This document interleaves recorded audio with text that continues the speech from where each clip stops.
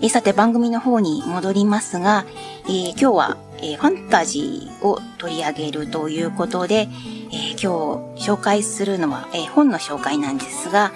えっ、ー、と、1995年に、え、第1回児童文学ファンタジー大賞を受賞した、えー、梨木かほさんの裏庭という作品の、え、紹介というか、裏庭を取り上げたいと思います。あの、梨木かほさんは、あの、もう読者の方、ファンの方、えー、リスナーさんの中にはたくさんいるのではないかと思いますし、えー、私も今まで、えー、梨木かほさんのエッセイを取り上げたことが番組の中で、えー、あったと思います。え、で、今日はその、かなりこう、まあ、デビュー作とは言えないんですが、デビュー作はあの、西の魔女が死んだという作品で、まあ、私もこの作品で、この梨木かほさんの、えー、読者になったわけなんですが、まあ、その次に発表したと言っていい作品がこの、えー、裏庭になりますし、えー、先ほどもあのー、話を出しました絵本児童文学研究センター小樽に本部のある、えー、研究センターが主催する、えー、児童文学ファンタジー大賞の第1 1回目の大賞受賞作ということで、え今も、え長く読み継がれて版も重ねている、え作品ということになります。えそれでですね、あの、実は梨木かほさんの私作品の方の紹介というのを今まで花より団子で、えー、取り上げたことがなかったのはですね、実は作品よりも、あの、エッセイの方が好きっていう話も前したことがあると思うんですけれども、あの、それで、まあ、今回すごく久しぶりに読み返した理由というのがあって、この、まあ、そのファンタジー大あの、この章そのものが、ま、終了になるということで、久しぶりにそのホームページにですね、あの、選評が載ってるんですね。今までの、あの、募集作っていうか、こう、佳作や奨励賞に残ったものの、あの、選考委員の票が残っているんですが、まあ、この賞はですね、対象がなかなか出ないという、まあ、非常に厳しいということでも、まあ、有名で、実際この第1回目に出た裏庭と、えそして3回目の、やはりあの伊藤優さんという、えー、北海道の作家さんによる、えー、鬼のに、あ、なんだっけ。あ、ちょっとタイトル忘れてしまいました。鬼が出てくる話ですね。その2作しか大賞を出していないわけなんですけれども、でその表を読んでいる中で、この、梨木かほさんのこの裏庭についての、あのー、清水雅子さんは、あの、すごく私の好きな翻訳家であり、まあ、児童、あの、文学研究家、あの、ゲド戦記を訳した人ですね。清水雅子さんの選評に、あのこの世界にちょっと病んでいるものを感じて、こう、対象に押さなかったというのを見たときに、あ、これは私がその、例えば小説よりもエッセイの方が好きって言ってる理由とつながるのではないか。と感じて、だったらちょっと読み返してみようと思ったんですね。それで、あの、初期の頃の作品は、まあ大体全部読み返して、まあ、本当は、あの、最近の作品の読んでないのも読み返したかったんですが、ちょっと時間切れだったわけなんですけれども。でそれをしながら、まあ、梨木かほさんの世界だけではなくて、まあ、ファンタジーとは何か、そして、あの、やはりファンタジーというのは、今リアルタイムで生きている、今、今というかその時リアルタイムで生きている人間の現実を映している、まあ、文学とも言えると思うので、それが持っている力とは何かについて、ちょっと、あの、改めて考えたので、えー、まあ、その話をしようと思って今日は取り上げようと思いました。えっ、ー、と、この、梨木かほさんの裏庭というのは、えー、てるみという、えー、思春期の13歳の女の子が主人公。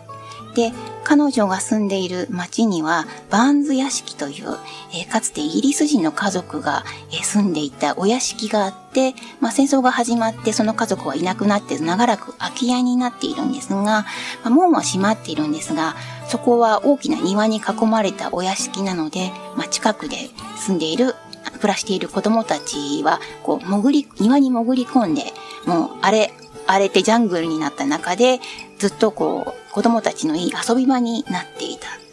で、その主人公のてるみも、まあ、子供の頃からそこで遊んでいたわけなんですが、まあ彼女は実は共働きでレストランを夫婦でやっている親のもとに、えー、生まれ育っていたので、ちょっと寂しい思いをしてるんですね。うちに、まあ、鍵っ子状態というか。えー、ですが、もともとは双子の弟がいて、その弟は、まあ、体がちょっと弱かったり、えー、またちょっとこう、知的な障害があったので、小さい頃からその弟の世話をすることが、まあ、彼女の役割だったのが、えー、6年前に、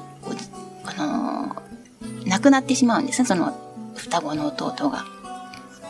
で、そうやって、まあ、思春期を迎えた、えー、少女なんですが、まあ、家の中にはその家族がもうほとんどいない状態で、え、ちょっと寂しいけれども、忙しい親には寂しいと言えない。で、あの、仲のいい友達の家にいるおじいちゃんと仲良くなるんですね。で、そのおじいちゃんに、まあ、他人ですけれども、懐いて、そのお屋敷についての昔話を聞かせてもらったりして、まあ、ある、ある種の安らぎを得ているのが、そのおじいちゃんが倒れてしまったという、まあ、高齢で倒れてしまったということをきっかけに、久しぶりにそのお屋敷に潜り込んだら、その弟の病死の責任が自分にあったのではないかという記憶が蘇るんですね。で、そのことでショックを受けたけれども、それを話せる大人が身近にいないために、そのお屋敷にまた戻っていって、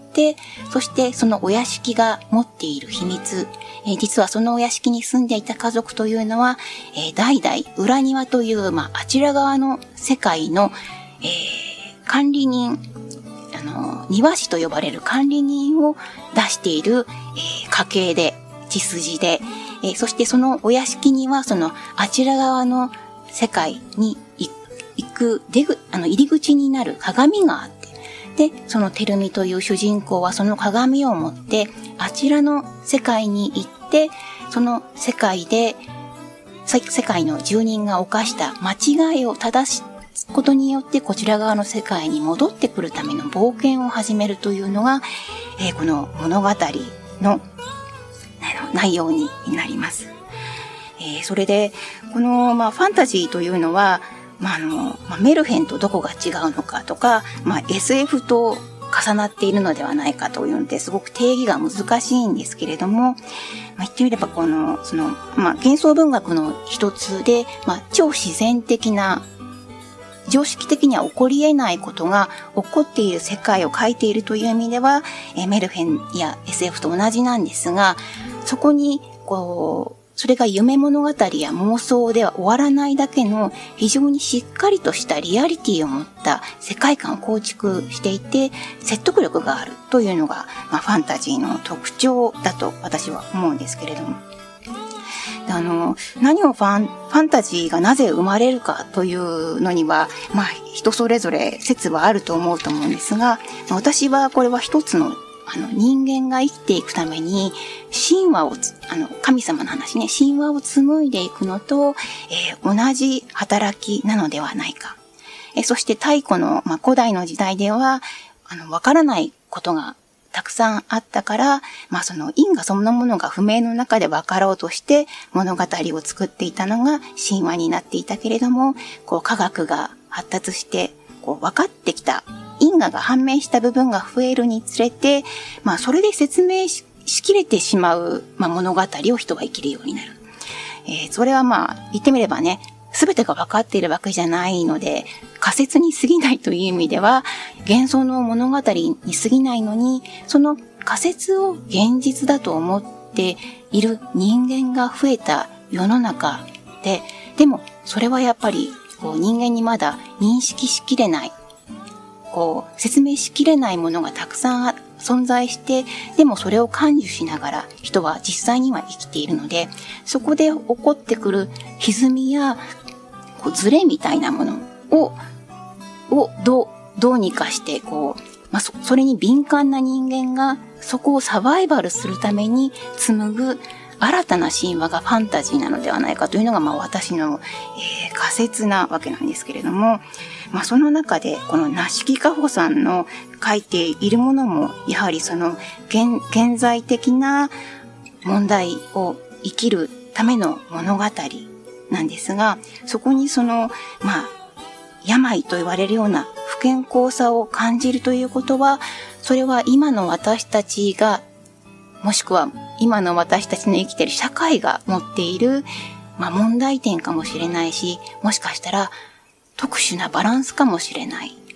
それを考えていくことが、まあ私たちの責任であるかもしれないと思って、また読み返そうと思ったりしました。